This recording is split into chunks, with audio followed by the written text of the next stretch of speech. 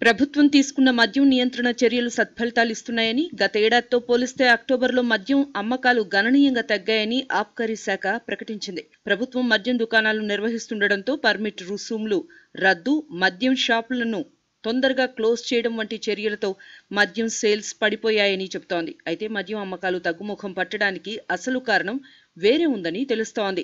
మద్యం రేట్లను ప్రభుత్వమే విపరీతంగా పెంచేయడం బార్డర్ జిల్లాల్లో పొరుగు రాష్ట్రాలకు వెళ్ళి వినియోగదారులు కొనుగోలు చేయడంతో పాటు ఫ్రిడ్జులను మద్యం షాపుల నుంచి ఉపసంహరించడం బీరు మరియు మద్యం సేల్స్ తగ్గడానికి కారణంగా తెలుస్తోంది. దీనికి తోడు గత కొంతకాలంగా రాష్ట్రంలో కురుస్తున్న వర్షాలు చలి తీవ్రత పెరుగుతుండటంతో బీరు అమ్మకాలు సగానికి పైగా పడిపోయాయి.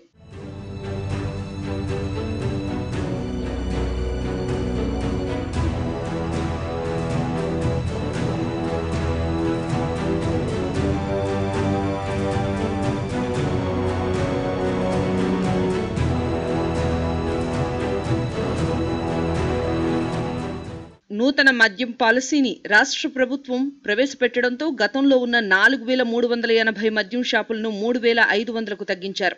అటు బిజినెస్ సమయాన్ని ఉదయం పదకొండు గంటల నుంచి రాత్రి ఎనిమిది గంటల వరకు పరిమితం చేశారు. కొత్త మద్యం పాలసీలో భాగంగా ప్రభుత్వం తీసుకున్న తాజా నిర్ణయాలతో అమ్మకాలు తగ్గాయని ప్రైవేటు వ్యక్తుల ప్రమేయం లేకపోవడం సమయాన్ని సక్రమంగా పాటించకపోవడంతో మద్యం క్రమక్రమంగా నియంత్రణలోకి వస్తుందని అధికారులు చెబుతున్నారు.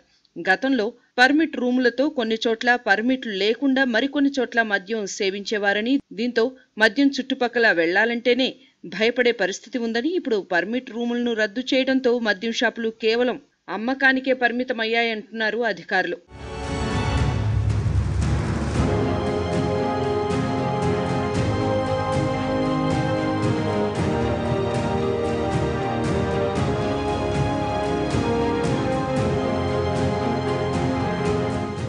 అటు గ్రామ సచివాలయ వ్యవస్థ ద్వారా బెల్ట్ షాపుల ద్వారా అక్రమ మద్యం విక్రయాలకు అవకాశం లేకుండా నిఘా పెట్టడంతో గ్రామాల్లో మద్యం తగ్గిందంటున్నారు. అయితే తాజాగా మద్యం అమ్మకాలు తగ్గడానికి షాపులు తగ్గించడం బోర్డర్ జిల్లాల్లో మద్యం ధరలు భరించలేక పొరుగు రాష్ట్రాలకు వెళ్ళి మద్యం సేవించడం మద్యం షాపుల్లో ఫ్రిడ్జ్లు తొలగించడం రాత్రి ఎనిమిది గంటలకే మద్యం అమ్మకాలు చేపట్టడం వంటి కారణాలతో పాటు మద్యం ధరలు విపరీతంగా పెంచేయడమే ప్రధాన కారణంగా తెలుస్తోంది.